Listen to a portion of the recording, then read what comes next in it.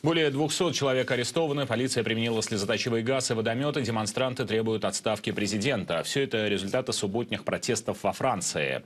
Там на улице уже в шестой раз вышли желтые жилеты. Наш специальный корреспондент Николай Соколов с подробностями с места событий. Автомобильное движение на Елисейских полях не перекрыто. Это тоже мешает протестующим собраться, к примеру, здесь, на Елисейских полях. Хотя они пытались, но от того все чаще собираются в отдаленных округах Парижа.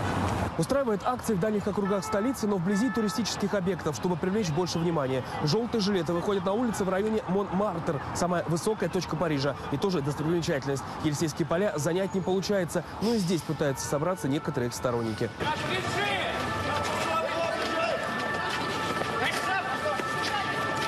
Среди мирно настроенных желтых жилетов иногда появляются безжилетные радикальные молодые люди. Именно они устраивают беспорядки и провокации. Столкновения заканчиваются часто серьезными травмами, причем не только у протестующих.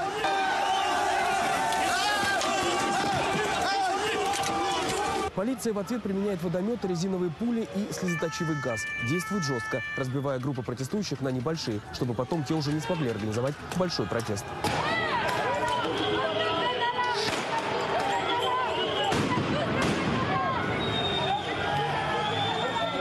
Если в Париже ситуация без погромов, то в регионах Франции не обошлось без дыма и огня. В Тулузе желтые жилеты перекрывают дороги, блокируют работу торговых центров.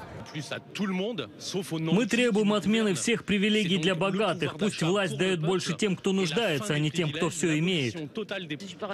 Я считаю, очень важно быть здесь и продолжать. Рождество или нет, мне его и праздновать не на что. У меня нет денег на одежду, даже платить за квартиру нечем. Они обещают устроить запоминающееся Рождество. Впрочем, лидер протестов в Париже уже арестован. Более полусотни лидеров локальных акций задержаны во время шестого по счету протеста по всей стране. Но, судя по всему, протестный дух у них остается. Уже зовут на акцию новогоднюю ночь.